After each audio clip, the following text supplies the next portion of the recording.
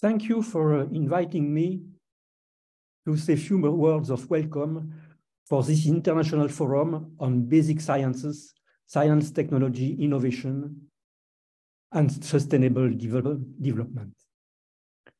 Let me share with you a few slides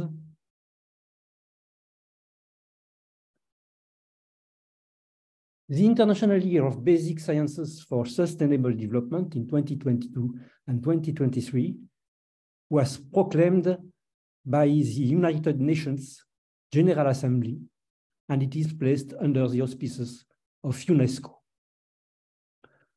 The uh, opening ceremony took place uh, on July 8, 2022, and the closing ceremony will be on December 15, 2023. 250 events already happened. The record number were in China, in South Africa, and in Colombia. To understand the rationale behind this uh, international year, nothing is better than a one minute video. This video was made by CERN, starring in it my grandniece, Eloise Goldberg.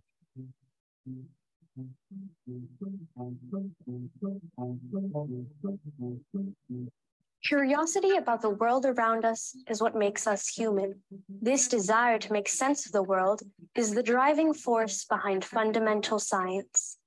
Stirred by this curiosity, each new generation of scientists adds to the pool of knowledge built up by previous generations. We are at a crucial time for the future of our planet. Now, more than ever, it is imperative to use this pool of knowledge to help solve the global problems we face and pave the way for a more sustainable development. And we must not stop being curious. Future generations will be inspired by the knowledge we contribute today, equipping them with the powerful tools they need to build a better world.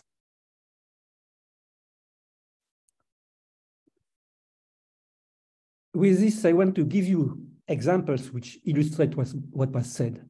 Vaccines and treatments against COVID-19 are full of basic biology. The web was born at CERN from the needs of fundamental science.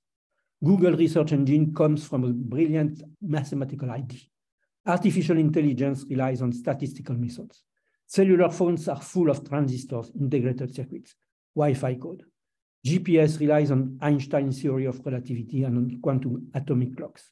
The Genome Project has opened the way to gene therapies. PET scan and MRI are based on antimatter physics and fundamental atomic magnetism. Generation and storage of renewable energy depends on advances in physics, chemistry, and material science. Reduction in pollution and green chemistry rely on basic advances in chemistry. The second quantum revolution is having now applications. Nanotechnologies are changing the world. The outcome of this international year can be summarized uh, in this slide. Basic sciences are curiosity and inquiry driven. They are the sources of uh, foundations of education and the sources of discoveries which turn into applications.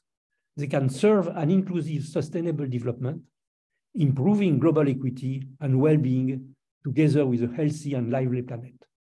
All together, education, discoveries, applications, and inclusive sustainable development can boost collaborative and open basic sciences. This is a virtuous circle that we want to promote during the International Year of Basic Sciences for Sustainable Development and after. To achieve this goal, we shall need you, teachers, scientists, entrepreneurs, and society at large to share this vision and act, act accordingly. We are now, now trying to obtain from the uh, United Nations General Assembly a decade of sciences because we need to unite all together for at least 10 years to uh, uh, promote and boost sustainability. Thank you very much. We count on all of you, and yes, we can.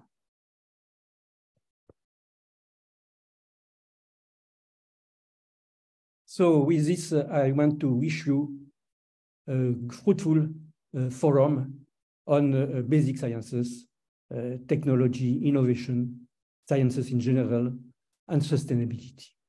Thank you.